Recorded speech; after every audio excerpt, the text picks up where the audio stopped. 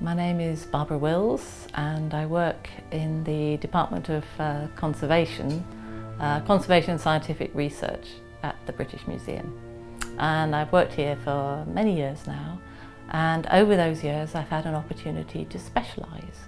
And one of the things, one of the areas that I specialise in have been uh, the care of mummies, animal and human.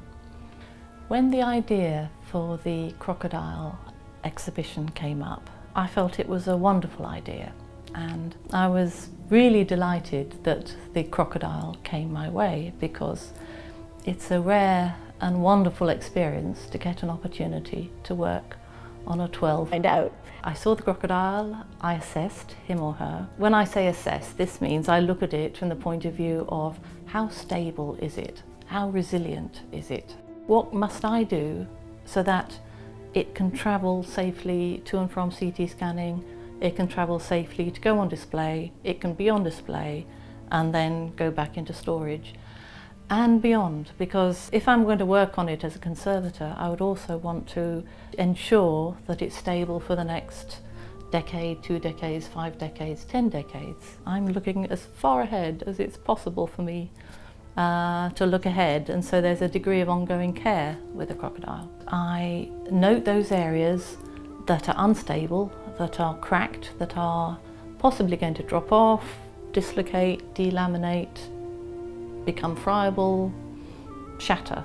All those areas, that's what I'm looking for. And um, I intervene to secure them uh, prior to the CT scan.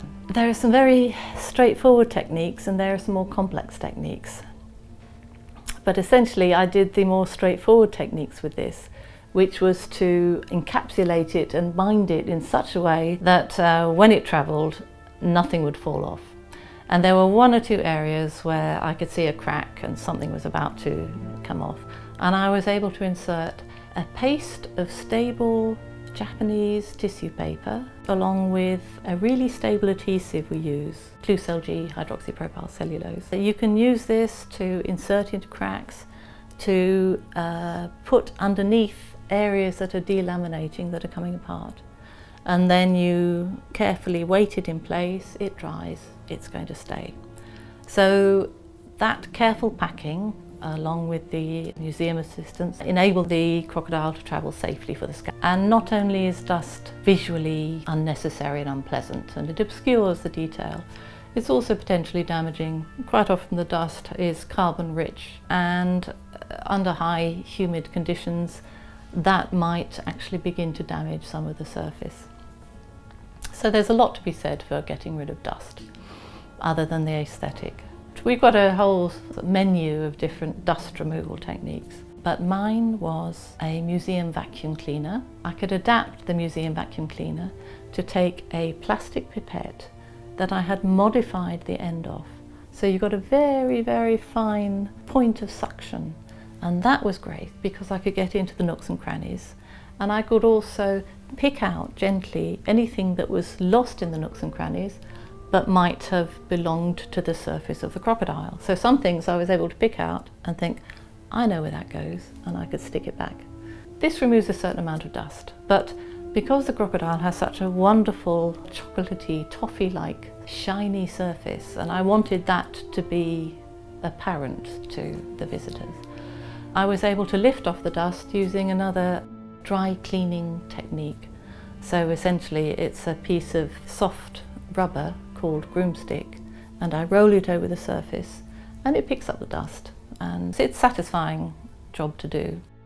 And often as I clean I will leave a marker to say this is the bit I want to come back to. Here I must secure this. And this is a more subtle technique whereby you get the adhesive flows in and underneath the bitumen surface of the crocodile. And this is quite, it's reasonably sophisticated. You have to flood the area first with white spirits. Then you take your medium for consolidation and with a fine pointed brush, allow it to drop into your crack. And because you flooded it with white spirits, the adhesive flows in, follows the trajectory of the uh, crack. So the white spirits allows it to penetrate to those vulnerable areas And it, the other job it does is that it stops the adhesive evaporating back up to, the, up to the surface. So it also forms a kind of a barrier layer so it dries gently and it dries in those areas and sticks together those pieces that you want stuck together. So very pleasing, 30, I think there are about 30 had been on the back. Although now you can see maybe seven or eight clon. They themselves were covered with the resin. Certainly there was a point at which uh, blobs of resin were applied and the mummified hatchling was adhered.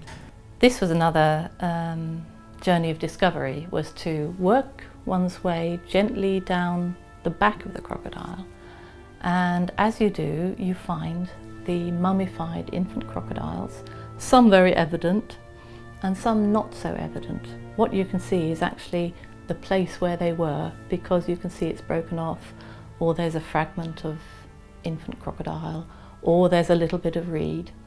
And so I was able to count